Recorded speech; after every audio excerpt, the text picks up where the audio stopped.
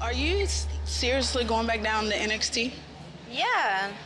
And you made that decision all on your own and didn't consider me at all in making that decision? Because you know that splits us up, right?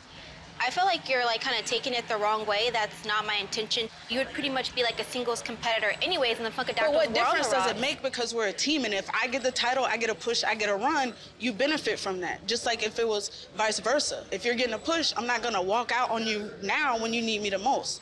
I know, but I just think that right now, like I think you're being a little selfish and you're just only thinking about. I'm being selfish when you're breaking us up I'm and you never it's- said it's anything to me breaking up, about it. like that benefits you. Trent, You're not I- thinking of the group. For two years, we've worked together, we've helped each other in the ring, and all of a sudden it's like, oh, I need to go down developmental, I think is shady. I would have never done that to her. I think it's just very inconsiderate that you did made all these decisions and I was one of the last ones to find out and you didn't even ask my opinion on it at all.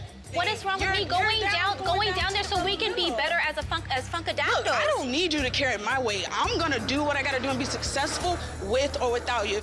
Do what you gotta do. I hope it works out for you, but I'm gonna do what I need to do here. And when you come back, it will not be no more Cameron and Naomi. I've been thinking of us too much and not necessarily myself, and I am done. It's all about me and Naomi now. Man, I feel like I've always been about the Funkadactyls, and you've And always a- been about you. I'm and you're about- clearly showing me that I'm now. about the Funkadactyls. So go do you, and I'm gonna do me. But that really and does. we will be successful independently. Well, that really does. Because now I'm I'm focused on me. So enjoy NXT and do what you gotta do.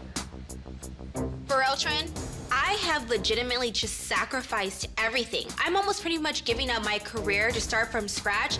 Not only are you supposed to be a tag team, but we're supposed to be friends. And if you can't support me, then you know what? Girl, bye. I think you're being so selfish right now.